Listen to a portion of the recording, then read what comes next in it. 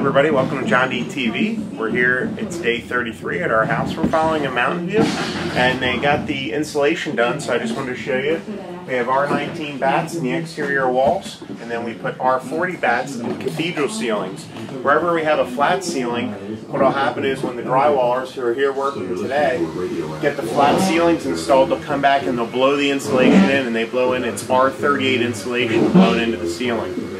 Um, a couple key points you can see, they seal around wherever like the walls meet the floors, any little seams between the uh, construction members there to prevent any drafts. A draft stop, a latex type caulk that we put in there to seal everything.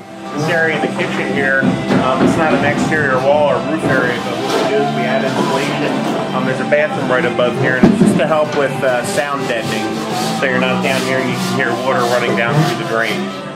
This is our uh, first floor return here, and I just want to show you before it gets covered up with drywall um, how they perfectly seal everything to make sure that your uh, airflow, you don't have any loss or leakage of airflow. Everything is uh, very efficient. They even on the, uh, you can see here, they seal these little seams here. That makes your whole air system uh, very tight and at maximum efficiency.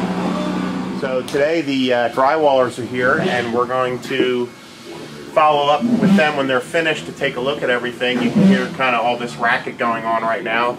They're getting everything hung and moving along well. So we'll come back and check when it's all done, see what it looks like before they start to put all the spackling and finishing work on. Have a great day. Thanks for tuning in. www.berkshomes.com. See you later.